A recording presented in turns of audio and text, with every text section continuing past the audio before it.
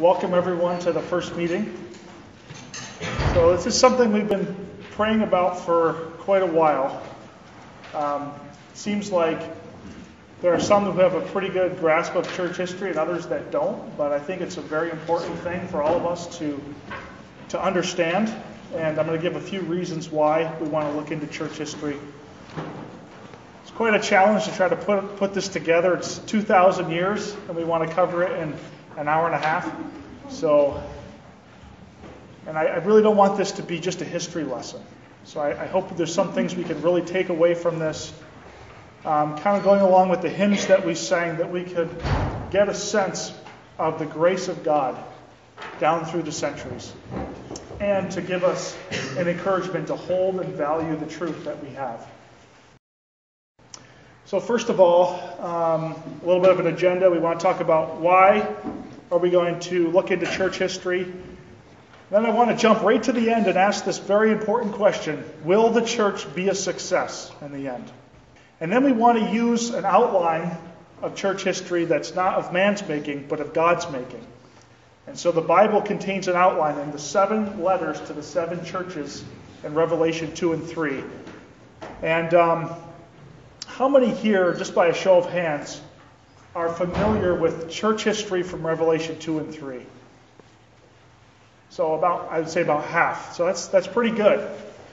I'm, I'm unfortunately not going to be able to walk through in detail every verse, but I just want to give an overview of Revelation 2 and 3 and then bring in details from church history as we go. Um, but each of the letters that were written in Revelation 2 and 3 by the Lord Jesus, delivered by the Apostle John to seven assemblies in Asia Minor or Turkey, modern day Turkey, represents a period of church history. Ephesus, um, Smyrna, Pergamos, Thyatira, Sardis, Philadelphia, and Laodicea. And so we'll just briefly go through some of those things, and we'll probably take a break after Pergamos.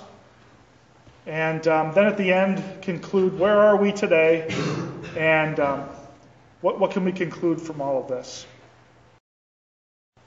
So the first question is why is it important to know church history?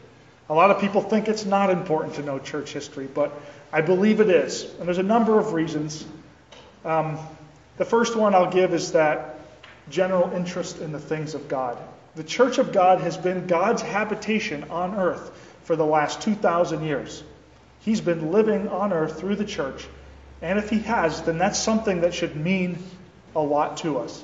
If he's interested in the church and its history, so should we. Secondly, it helps us to understand how we got to where we are today. We look around in the church today and we see that it's a mess. How did it get to be a mess? We see various denominations in Christendom today. How did these denominations come to be?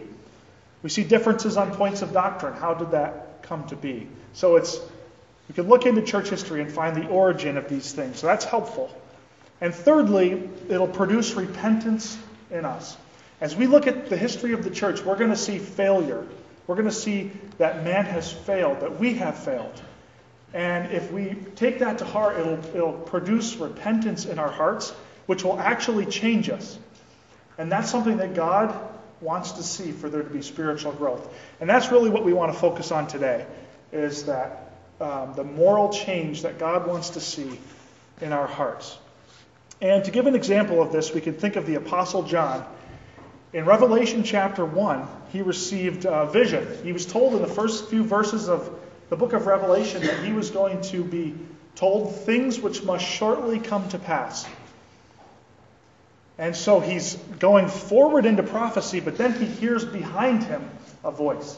So he's going forward, and then he has to turn backwards to hear this voice, which says, What thou seest, write in a book and send it to the seven assemblies, to Ephesus, Smyrna, and so on. And I turned back to see the voice which spoke with me, and having turned, I saw seven golden candlesticks, and so on. So here he was going to go forward into prophecy, and God says, No, before you can go forward, you first need to look back. And we have to look back in order to get God's thoughts about the past.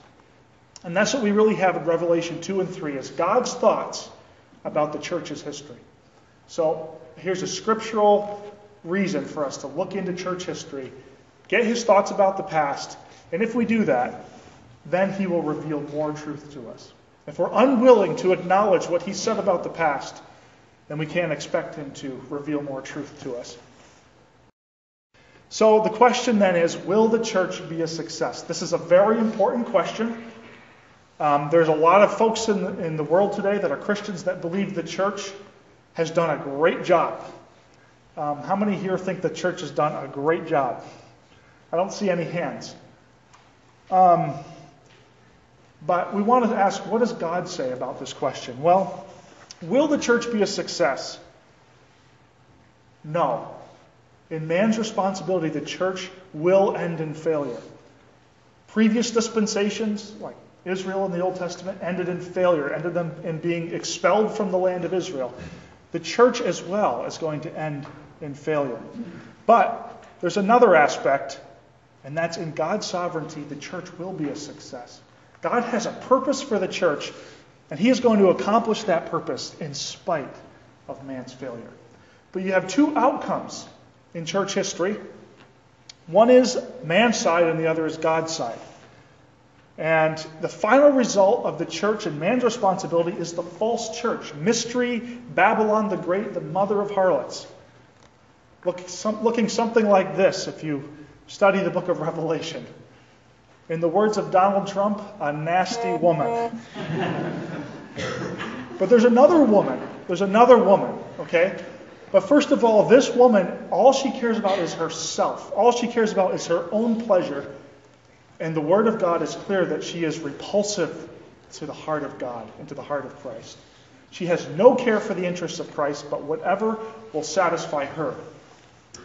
But there's another woman, and that is the New Jerusalem, the bride of Christ. Looking something like this. I don't know if that's what you would consider to be a beautiful woman, but um, I, I, picked I picked the first thing that came up. Um, both women, both uh, the false church and the true church are presented as women. The false church is the harlot. The, the true church is the bride of Christ. Both are represented also as cities. The false church is Babylon the Great. The true church is Holy Jerusalem. So there's a great contrast between these two things. And as I said before, as with every other dispensation, in man's responsibility, it's going to end in failure, but God has a purpose. And his purpose will be accomplished in the end. So we can take courage from that. In the end, Christ will present to himself a glorious church, not having spot or wrinkle or any such thing. So we can take encouragement from that. So now, um, the, the history of the seven golden candlesticks. So John sees a vision looking something like this. I don't know exactly what it looked. This is an artist's rendition, but he saw seven golden candlesticks, seven stars, and one in the midst of the candlesticks who was dressed something like this. Now, the book of Revelation is a symbolic book. The first verse of the book of Revelation is the key that tells you it's a symbolic book.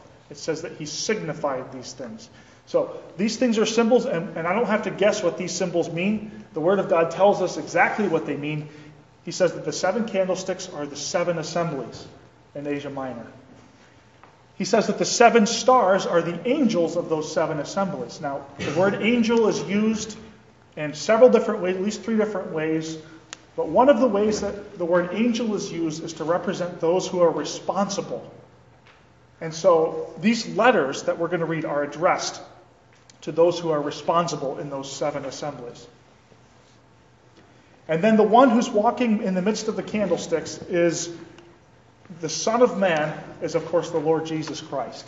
And the way he's dressed is as a judge. I'm not going to go through all the way he is dressed, but to put it this way, he's a judge, and he is assessing the state of his people, the church.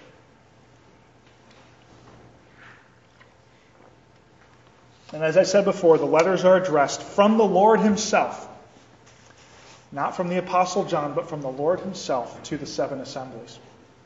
So there are three ways you could take Revelation 2 and 3. I'm sure many of you have heard this before, but You know, they were seven historical, literal assemblies, and they tell us something about what was going on in Ephesus, Smyrna, in each of those individual assemblies. You can take them in an allegorical way, and we can apply those things that we learn from those letters to us at the present time. I can look around today and I can see something of Ephesus and something of Smyrna and something of Laodicea today, in the world today, in Christendom today. I can apply it to my own life in that way. But there's a third way, and that's a prophetic application. And that is the one we want to focus on today. We know the number seven is God's number of, of completeness, and so these seven churches give us a complete picture of church history down through the ages. So that's what we want to focus on today. Just to briefly go over it on a timeline to show you where these seven churches fall, and then we want to continually come back to this timeline as we progress. So the first period was covered by um, the letter to Ephesus. And each of these churches has a meaning to the name, and it has something to do with what went on during that period. But so Ephesus, Smyrna, and then Pergamos. These first three churches are successive in history, which means they um, one begins where the other one leaves off, and that's different for the last four. But the first three are unique in that way. And then those, those periods have opened and closed in history. And another thing that's interesting about the first three is that at any point during that, those first three great periods, if the church had repented and turned back to God, God could have restored them back to the days of Pentecost, to the early days of the church. But once we get to the fourth church, that opportunity is no longer available. So the last four churches coexist till the Lord's coming. And those would be Thyatira, Sardis, Philadelphia, and Laodicea. I have some dates up there. Um, don't quote me on those dates. I think they're fairly accurate, but you'll see um, different dates on different charts if you look around. And this is this is going to be made available later, so don't feel like you have to strain your eyes to read to read everything. So if you're taking notes. So the last four coexist to the Lord's coming. They all mention the Lord's coming in some way for that church. So we know they continue to the Lord's coming. And God begins to work with only a remnant. The opportunity for the whole church universally to repent and be brought back to its early days and its best time is no longer available. And now God's going to work with just a small remnant within that church. So we want to start with Ephesus.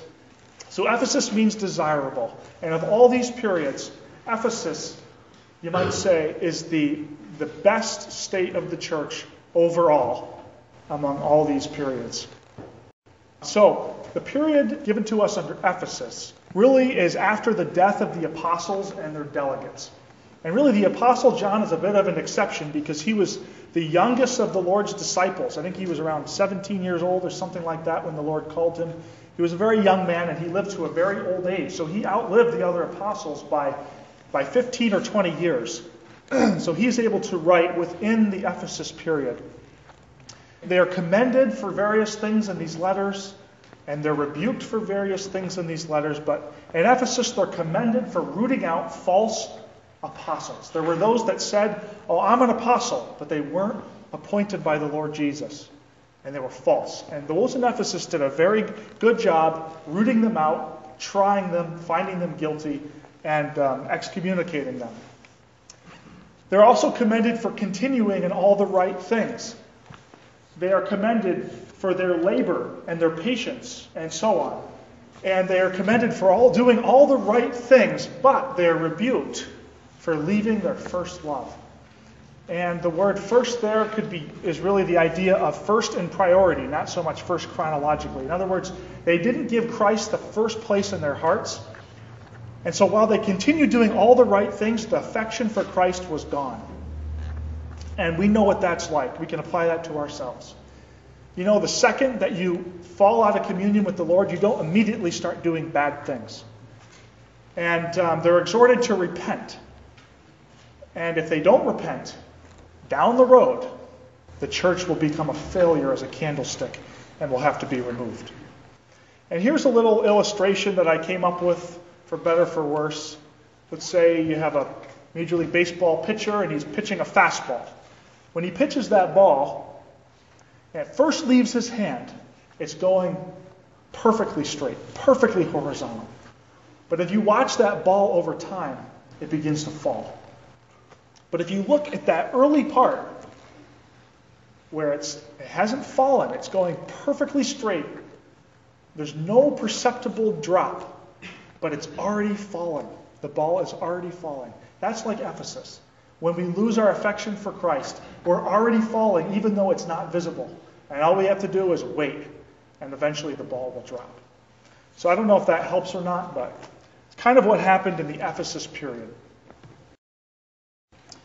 So, just to give a little bit of a timeline, at the, at the end of the book of Acts, we have the imprisonment of the Apostle Paul.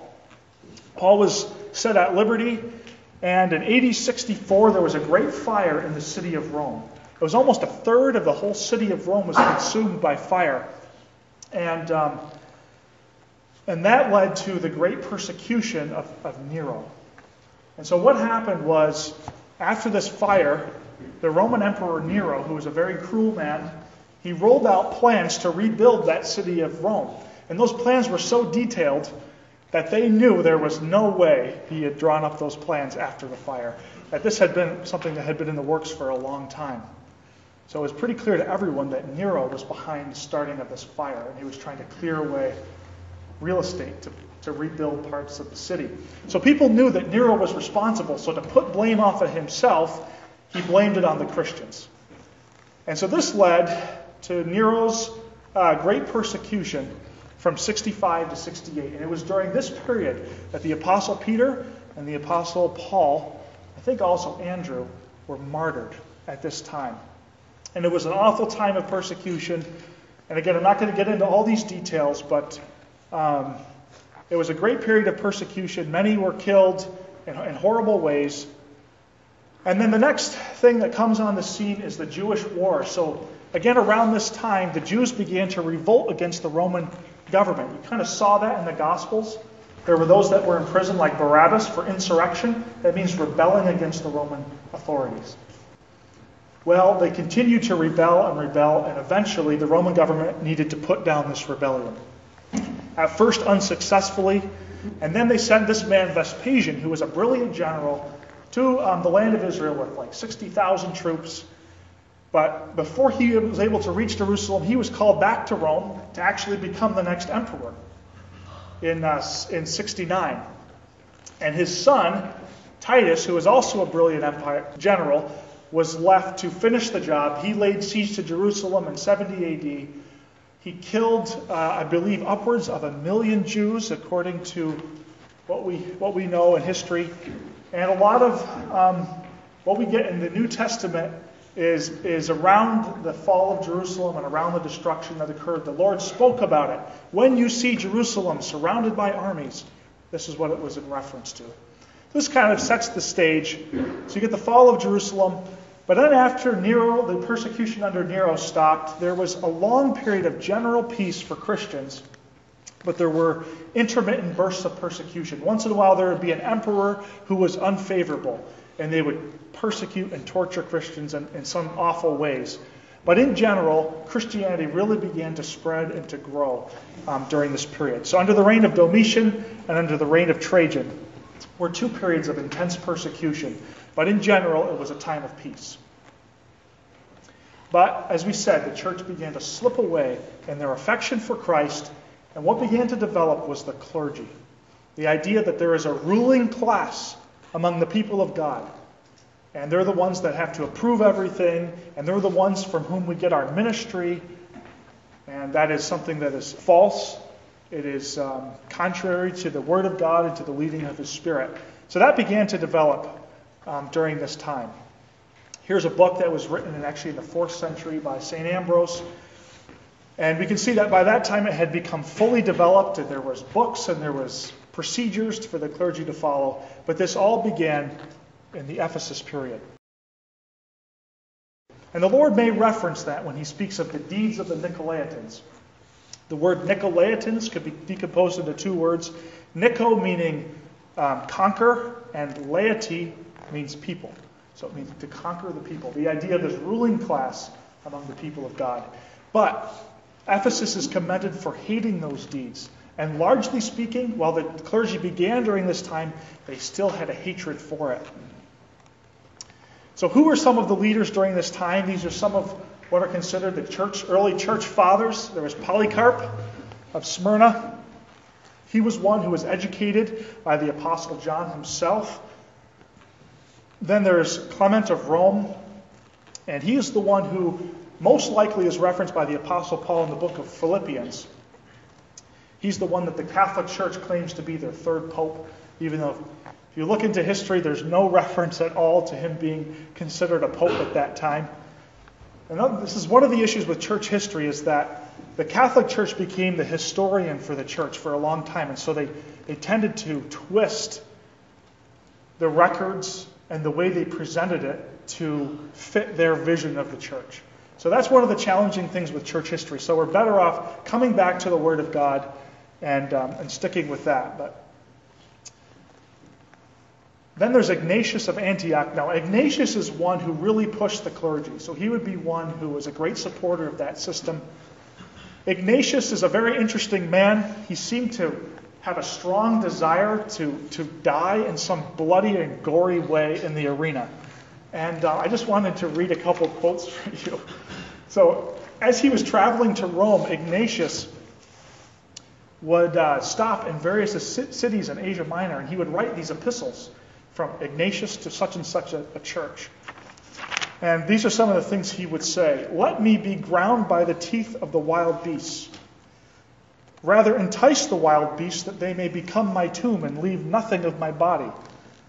May I enjoy the wild beasts that are prepared for me, and I pray that they may be found eager to rush upon me, which also I will entice to devour me speedily, and not deal with me as with some, whom out of fear they have not touched.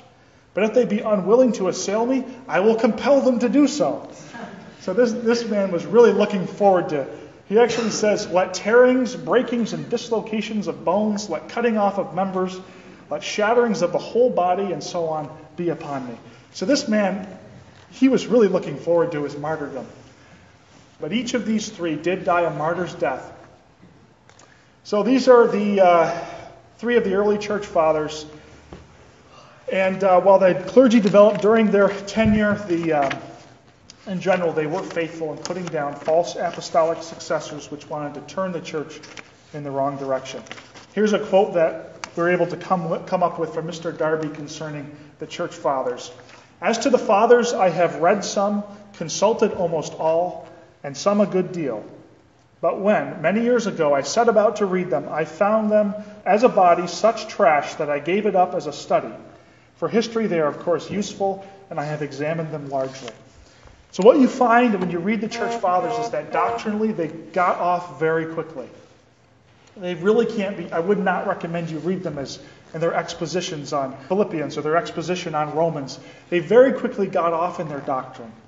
And so, not necessarily speaking about these three, but as the church, the church fathers that followed them, very quickly the church fathers got off in their doctrine. So, um, we can be thankful to the Lord for recovering the truth to us that we have. So, Smyrna is the next period. Smyrna means suffering. It comes from the same from the root word myrrh, which means suffering. And it was a period of intense persecution from the Romans. In each of these letters, Christ presents himself in a different way. He presents himself to the church in Smyrna as the one who has conquered death. And if they were to be called to give the, the ultimate sacrifice, to give their lives, their Savior was the one who has conquered death, and they would be raised but against the church of Smyrna was leveled by Satan a double attack. From without, there was persecution that came upon the church from the, from the Roman world, the pagan world. From within, there were those who tried to spread Judaizing doctrines, Jewish teachings, to try to convert the, the church and get it off from its purpose and get it onto Jewish ground. We're going to talk about that in a minute. But they were exhorted to be faithful unto death, and the Lord would give them a crown of life, and many of them were faithful unto death. And they were promised that the persecution would only last 10 days. 10 days. If you look into the Old Testament where 10 days is used, It speaks of a limited period of trial. Remember, Daniel asked to be tried on that oatmeal or whatever that was he was eating, the pulse, for 10 days. It was a limited period, and it would be over. And sure enough, there came a time when that period ended and the persecution stopped. But the 10 days may also refer to 10 distinct periods of persecution that occurred at this time from Nero to Diocletian. If you look through history, you can see 10 distinct periods during the Smyrna um, time frame. And it's held out to them that even if they were killed, they, they would not be hurt at the second death. The worst they can do is take your life. They cannot touch your eternal security. So they were tortured, they were killed in awful ways. Um, they were taken to the arena, they were crucified, they were burned alive, were, their bodies were used to light the parties of the emperors. They, they were drowned. Many awful things. It's not my purpose to go into it, but um, suffice it to say, they suffered greatly for the name of Christ. So the persecution came from the pagan world. Why? First of all, spiritual reason. That is, Satan is opposed to Christ. The cross of Christ separates the church from the world. And so the, church, the world is going to be opposed for, to us. All they that will live godly in Christ Jesus shall suffer persecution. And they did. Another interesting thing was is that the, the church was surrounded by pagans who were polytheists. They believed in many gods. It's interesting if you read some of this early documentation, the pagans accused Christians of being atheists. It's funny because Christians and atheists are like polar opposites today. But to the pagans, who believed in many gods, to only believe in one God was to believe in no God at all. So they accused Christians of being atheists. So very different. Politically, Christianity began to compete with the state religion. As, as Christianity began to grow in number, it also started to upset the political spectrum. Culturally, Christians were just different. They lived peaceably, quietly, and humbly. They worshiped simply, and they lived separately from the pagans who were um, very morally corrupt. So, to the pagans, Christians were just weird, and you persecute weird people. And that's what they did.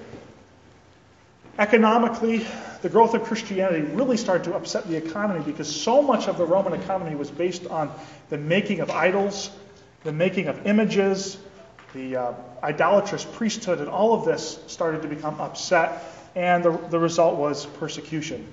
They were unfairly blamed for things. Once a Roman army returned from Asia and brought with it a great disease to the city of Rome and spread through the city, and they said, It's because of the Christians, and they blamed it on the Christians. Another time, the Tiber River overflowed and flooded part of the city of Rome, and they said, It's because of the Christians. So they just began to be blamed for just about everything, when much of it, when all of it or much of it was unfounded. So they were persecuted, as I said before, using all kinds of ghastly forms of torture, and um, they, were, they stood faithful for the name of Christ. But there was the second attack one was from without and one was from within. Can you guess which one was, was successful? It was the one from within. It was the less obvious. Allurements from the Jewish world. There were those, the Lord speaks of, that say that they themselves are Jews and are not, but are a synagogue of Satan. There were those that didn't understand that Christianity and Judaism are distinct. You cannot mix them. The Lord Jesus himself spoke of that. You cannot put new wine into old bottles. And they tried to bring in things from the Jewish world the priesthood, robes, candles, incense, the keeping of the law, ceremonies, all these things to try to Judaize the church. And the persecution really did help slow the tide of evil because persecution is one of the best things for the church in a spiritual way. Not in a physical way, but in a spiritual way. And so, some of, a few of the um, important figures during the Smyrna period, these are names you might know. Justin Martyr, a very interesting fellow. As you might guess, he earned his last name the hard way. He uh, was fairly well taught, I believe, for his time.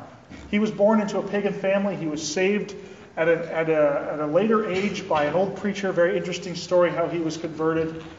But he basically passed himself off as a, as a philosopher. He found a way to kind of go under the radar Romans were very favorable towards um, philosophers, and so he actually started a school right in Rome, right under the nose of the emperor, and was preaching the gospel, passing himself off as a philosopher. He eventually was, um, was caught, though, and he was tortured and, and beheaded. So there he is, a fairly handsome looking fellow. Then we have Irenaeus. Irenaeus was educated by Polycarp, who actually, as we, see, we, we saw in Ephesus, was taught by the Apostle John. His most famous writings, his most famous book, was a, was a work called Against Heresies, where he really combated Gnosticism. Now, if you remember, which of the apostles spoke, wrote against Gnosticism? Does anyone know? John, yes, very good. So Gnosticism was a, was a movement of those who believed that they had the gnosis, which is the Greek word for objective knowledge. They thought they had more light. And ultimately, they really denied that Jesus was a man. They denied that he um, truly was had come in the flesh, and they were antichrist in that way. And a number of other things they denied. But you know what's interesting? If you read against heresies, Irenaeus um, he begins to reminisce.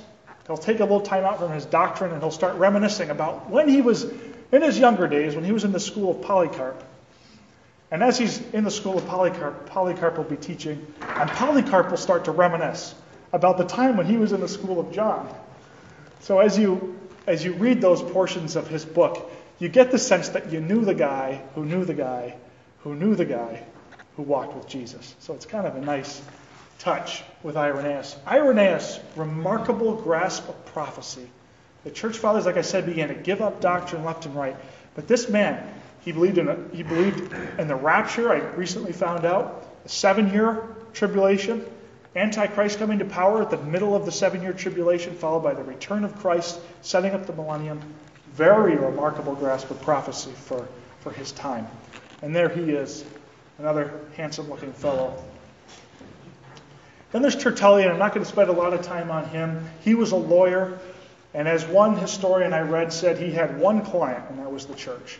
And he really defended the church to uh, the Romans. And, and he, he, wasn't, he was not clear on his doctrine. He, he denied the Trinity in his doctrine, and he, he did teach that the Son and the Spirit were, were inferior to the Father. And at the end of his life, kind of the black mark on his name, he fell into something called Montanism which is like an early version of, of Pentecostalism. They believed in ecstatic visions and higher revelations than the Word of God. So he kind of had a bit of a sad end, but he was another very influential figure during this Smyrna period. Now we get to the next period, which is Pergamos. Pergamos means marriage, and it was during this period that the church became married to the world. So Christ presents himself as a sharp sword. And we know from the Word of God that sharp swords are used in connection with cutting and making a clean division. Remember, in Hebrews, the Word of God is like a, a sharp, two edged sword, piercing to the dividing asunder of soul and spirit. Soul and spirit are two things that are very hard to distinguish, but the Word of God can do it. So the Lord Jesus presented himself as one who has the sword that can discern between what is real and what is false. What we're going to see in Pergamos is a lot of growth. But how much of it was real? Sad to say, not much. This is when all the great cathedrals were built, and we're going to talk about that in a minute. I have a little bit of material on Pergamos. So the church began to dwell, as the Lord says, where Satan's seat is. Satan's seat is the world. So they really began to dwell right in the world, which is a very dangerous place for a Christian to be. They're commended, though, for some measure of holding fast. I do want to show a few examples of those in the Pergamos period who held fast. Antipas was one of them. He was some faithful brother back in the Pergamos assembly 2,000 years ago, and he was slain. And there were those during this Pergamos period of church prosperity that were killed for their faithfulness and who suffered greatly for their faithfulness. They're rebuked for some who hold the doctrine of Balaam. If you go back to the Old Testament, you can see very clearly what the doctrine of Balaam was. The doctrine of Balaam was how can we get the judgment of God? How can we get God to judge his people? It was a two step process. Number one, get them to go after the pleasures of this world. The children of Israel began to commit fornication with idolatrous peoples. Part number two, get them identified with pagan idols. That's the process. That's the very same process that Satan used during the Pergamos period to um, get the, the church of God identified with idols. He offered them luxury and followed it up with idolatry. So that's really, I think, the big lesson we want to take, um, one of the big lessons we want to take from Pergamos. We have to talk about Constantine. Constantine, as Jeremy could tell us, was a very important emperor. He was proclaimed emperor in 306 AD by the army. He was a very popular general, very successful general, and uh, by popularity, he was pushed into that place. A little bit about his background. His mother was very favorable towards Christianity, although it isn't quite clear whether she was really saved or not. She was very favorable. The other thing is, is that Constantine noticed himself that Christians made better subjects than pagans did. They were better behaved. So he kind of had this all in his head. And when he got into this position of power, he changed uh, Christianity and changed the Roman Empire um, for history. In 312 AD, Constantine united the eastern and western parts of the Roman Empire. This happened at a famous battle called the Battle of the Milvian Bridge. How many here have heard of the Battle of the Milvian Bridge? Few. Okay, that's good. So this is a very important battle. and um, it was at this time, before that battle, the night before that battle, where he was to go out and meet his rival Maxentius out on the battlefield. he had a vision, supposedly, I'm not sure how literally to take this, but this is the story. He had this vision, and uh, it was a vision, and Christ appeared to him and said, You can go into battle tomorrow, and in this sign conquer. That's the famous line from his vision. And supposedly, Christ showed him this sign in the sky. It was a Chi Rho symbol, which is the first two letters of the Greek word for Christ, Christos. And so Constantine was very superstitious. He took this very seriously. He went back to his generals. They, they, they took out their magic markers and colored it on their flags and their shields and whatever all else. And in this, in this sign, they went out the next day into battle. And this is the Battle of the Milvian Bridge. And, and just, just a quick little what happened was Maxentius, he, he went across the Milvian Bridge which was right outside the city of Rome, and he destroyed the bridge itself, the old bridge. And in, its place, he built a bridge out of pontoon boats. And his thought was if he needed to escape from Constantine, who was a brilliant general, that he could cross this bridge of pontoon boats and then destroy the pontoon boats quickly, and he would escape from Constantine and save his own neck. That was his idea. Well, Constantine soon got the upper hand, and Maxentius decides, time to turn around, use my pontoon bridge, and escape. Well, as his army is crossing this pontoon bridge, it begins to collapse. And a portion of his army drowned in the sea. The rest of his army was trapped, slaughtered by Constantine. Constantine rides up to the edge of the river and, you know, sees Maxentius, you know, sinking into the water under the weight of his armor. And he actually himself drowned this time. So is this miraculous victory. In this sign conquer, he goes out and it's this miraculous victory. So he takes this as a sign that changed, I think, history. The next year, he issued the Edict of Milan, which didn't make Christianity the official religion of the Roman Empire, but it changed the Roman Empire's official policy towards Christians and said that they were now going to be favorable towards them. No more persecution for Christians. But 10 years later, he had forced Christianity on the whole empire through baptism, and it was a few years later that it became the official religion of the Roman Empire. And this is the marriage between the church and state. This is something that is abhorrent to God. Not only is it a terrible idea, but it's something that God hates. The church is to be separate from this world. But in the Pergamos period, the opposite. Constantine made himself head of the Christian church. Who is the head of the Christian church? It's Christ. Constantine took that place for himself. He remained the Roman Empire, and he never even relinquished his place as head of the pagan church. So not only do you have the church and the world coming together, but you have the church and paganism coming together in the Pergamos period. Christians who had been persecuted, who had been battered throughout the Smyrna period, now were treated with the highest honors. The, the empty pagan cathedrals, which had been abandoned when the conversion occurred, were given over to Christians. They were offered to them. They had been meeting in humble meeting rooms and in house churches, and suddenly they went from rags to riches. Constantine himself apologized to Christians for their treatment by the Roman Empire. In fact, there's this famous scene that occurs in the uh, First Council of Nicaea, which we'll talk about in a minute. When Constantine, who presided over that first great ecumenical council, he came into the room at the beginning of that conference, and there were clusters of men talking here and there. And one of the groups that was given the most prestigious place was a group of old men. They had limbs missing, they had eyes missing. They had suffered greatly during the Smyrna period. And Constantine came over to them and he hugged them, he kissed them, he kissed the empty eye sockets on these old sufferers for the name of Christ.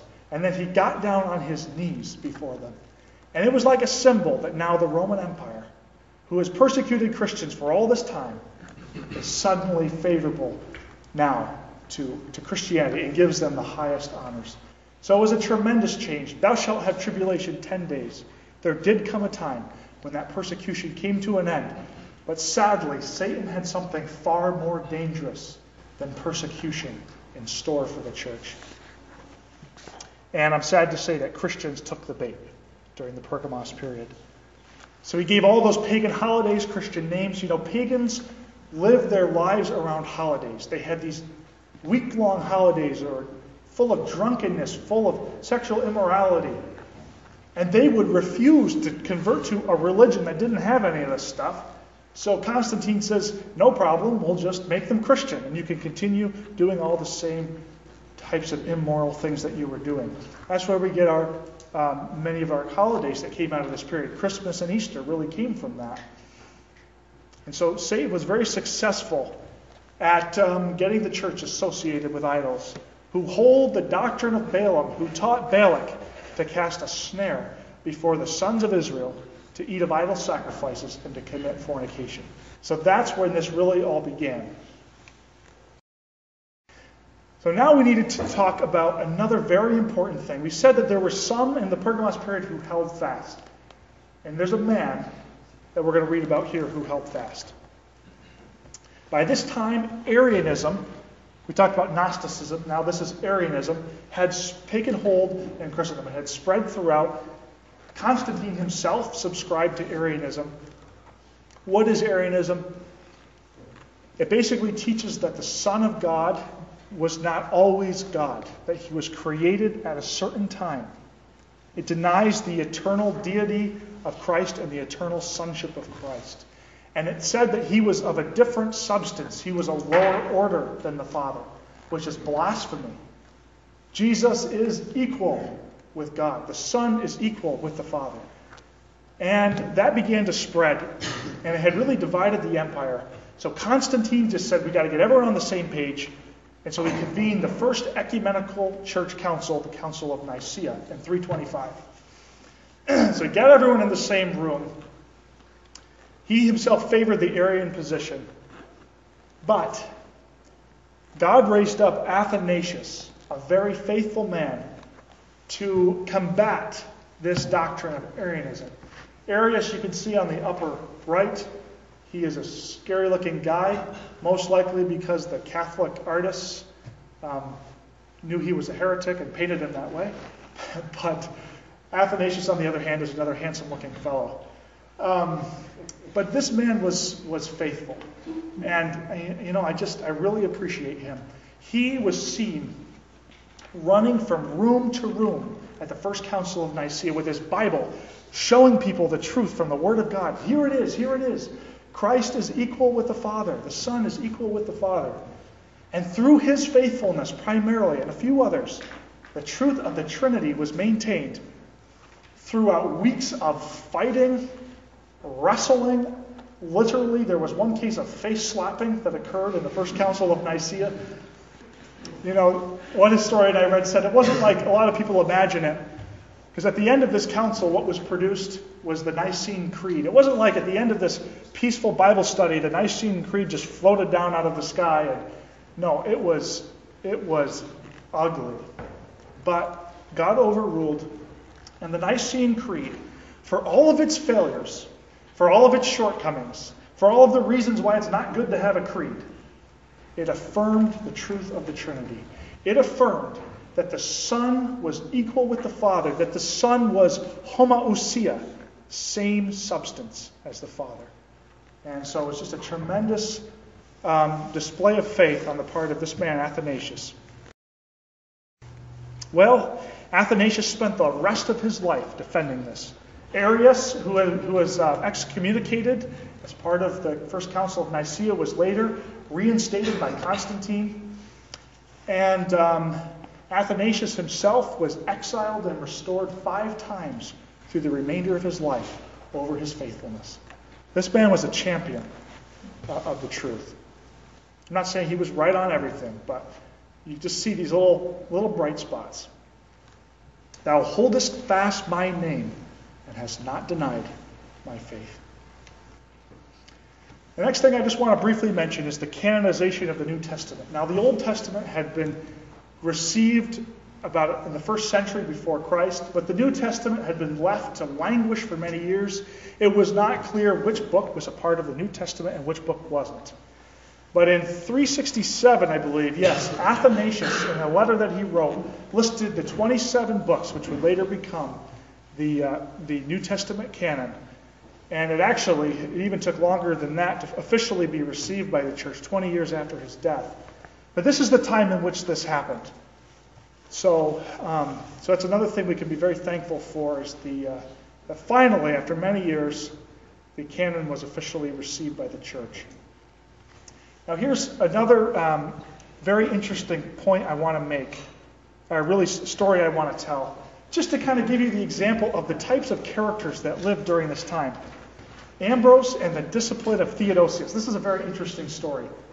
You know, in the Pergamos period, you had this great time of declension and this growth of what is false and not what is real. But here and there, you have these little bright spots that you see. And you see this with Ambrose. Ambrose um, was the bishop of Milan. He was, a, he was put there by the people. He really didn't want that position himself. He was a very, I believe, a very faithful man in a personal way. And he was brought into this position, and it was under the, it was during the time of the Emperor Theodosius. And just to make a long story short, the people of Thessalonica, we have two New Testament letters written to Thessalonica, they had done something to offend the emperor. I can't remember what it was, but they, they'd done something to incur his wrath. And so he told his captains, let loose the sword in the city of Thessalonica. And they did. First, uh, Theodosius said, Don't do it. He canceled the order, but later they got permission, and eventually they let loose the sword in the city of Thessalonica. And between 50 and 60,000 citizens, men, women, and children, were slaughtered in cold blood. It was, it was awful. This all in the name of Theodosius, Emperor of Rome. Theodosius was a Christian, I believe. From, from studying him, if there's any of these emperors that we'll see in heaven, it's probably this guy, he was a mass murderer. So, anyways, Theodosius went to church every Sunday at the, uh, at the cathedral in Milan. Ambrose, who was the bishop, wrote a letter to him and said, said to him, Don't bother coming to church on Sunday because you've got blood on your hands. Very faithful he wrote to the Roman Empire and Roman emperor and said, "Don't come to church on Sunday." Theodosius came anyways. So Theodosius shows up at the church on Sunday, and this is the famous painting. Ambrose comes to the door of the church. He meets him at the door and he holds out his hand and he refused to give the Roman emperor entrance into the church. And in this famous exchange that occurred between Ambrose, I don't know that he was dressed that way, but that's how the artists have him. Ambrose uh, and Theodosius had this little exchange. Theodosius, who knew his Bible, said to Ambrose, But do you remember King David? How he was a murderer, how he murdered Uriah. And yet he was restored to the Lord. I'm just like King David. Can't I be restored? And Ambrose famously said, You have imitated David in his crime. Now let us see you imitate David in your repentance. And he refused. And for eight months, for eight months, he refused to let the emperor um, come, to, come to church. So, for all of his failures and his shortcomings and his imbibing of the clergy, here you see a little example of those who God used in some small way to, to uh, honor his name. And eventually, Theodosius was restored. And from everything I can read, he, he truly was repentant, but God only knows. The next character I want to quickly talk about, and this is right at the end, and we're going to take a break, is Augustine.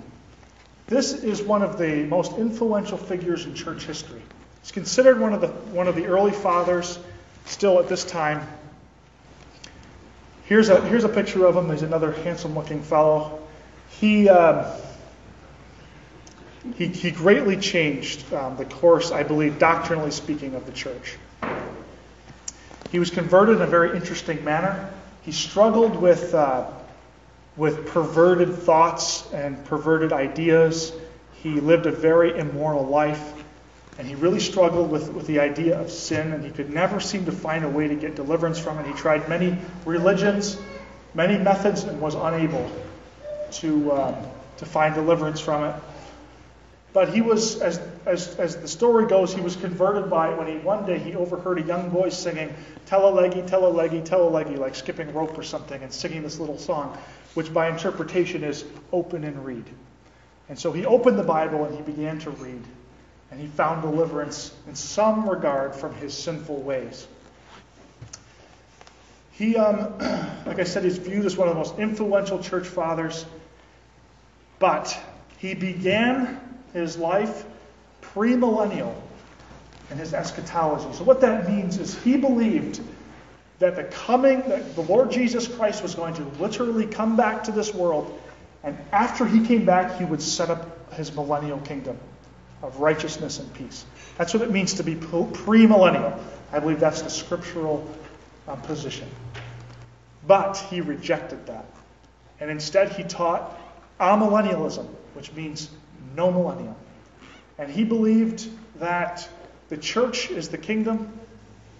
There's no coming reign of Christ. The church is the kingdom. That Christ is reigning right now through the church. That we have to try to take over the governments and spread our influence. Christ isn't going to do it. We've got to do it.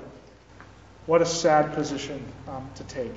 And you can see how this drastically changed um, um, Christianity historically. One of the things you have to do if you take that position is you have to allegorize prophecies. He was very Greek in the way he thought. The Greeks are famous for their mythology. The Greeks can take a passage of Scripture, and by the time you're done with it, it doesn't mean anything. It's just a bunch of fluffy ideas. They would take Old Testament scriptures that are crystal clear, like the wall shall be built again from the fish gate to the, the Tower of Hananiah. I may be misquoting that where it's clearly talking about a literal rebuilding of Jerusalem in the millennium. And he would allegorize that and deny that and take things that are crystal clear and, and, and obviously meant to be literally interpreted and allegorize them. He wrote a book called The City of God, in which he presented many of these ideas. This book is still being read today, and it is um, very influential. Um, there's a there's a copy of it, an old version, I think. And, and in the teachings of Augustine, we get the roots of covenant theology. The idea here with covenant theology is it's not the glory of Christ that is the purpose of God, it's the blessing of man that's the purpose of God. We have to know that. From down into our hearts, we have to know that God's purpose is to glorify His Son and that is the uniting theme of the whole Word of God the glorification of His Son. But the roots of covenant theology can be traced all the way back to this book and to Augustine. So, just in conclusion, what is Christendom? We use that term. Well, the term Christendom comes from the idea of baptism, which is often called christening. So, Christendom is that sphere that is formed by baptism. Because there are many, many that were brought into the profession of Christianity that were not really saved. They didn't really have faith, but they were brought in by baptism. And so, what is Christendom? Well, this is the way I like to think about it. This is really helpful for me. In Ephesus, you have Christianity. Yes, they had left their first love, but it was still desirable. It was Christianity at the, at the kernel. In Smyrna, you had those Judaizing teachers, the synagogue of Satan coming in. Now you have Christianity plus Judaism. But in Pergamos, not only do you have Christianity and Judaism, but now you add paganism. And that unholy mixture is what we refer to as Christendom. All the cathedrals, all the holidays, all the mixture between the world, paganism, Judaism, Christianity, all lumped together, which is an abomination to God. Um, that is where this all um, came from. I think we need to remember that prosperity does not mean spiritual growth. You have tons of prosperity in the Pergamos period, but sad to say, a great deal of failure. And this map just kind of shows us the extent of uh, Christendom at this time. It had expanded beyond the borders of the Roman Empire and, um, and quickly um, conquered the known world. And I believe that's where we'll stop so we can take a 15 minute break. Everyone can get up and uh, get, get themselves a coffee, and then we'll get back together.